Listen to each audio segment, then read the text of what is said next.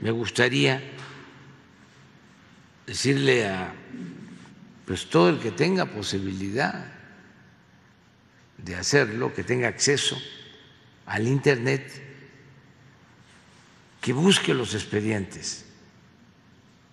que no es en vano leer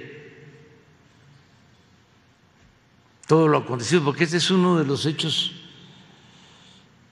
más vergonzosos, lamentables, dolorosos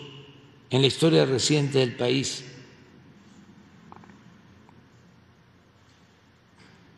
Y hay que eh, ventilarlo, evidenciarlo, para que no haya repetición, nunca más estos hechos en el país, nunca más, independientemente del castigo, y que no se quiera justificar bajo ninguna circunstancia un crimen así. nada de que eh, eran revoltosos los jóvenes,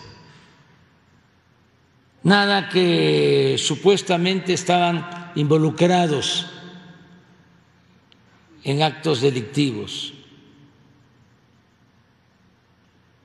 nada de que se necesitaba un escarmiento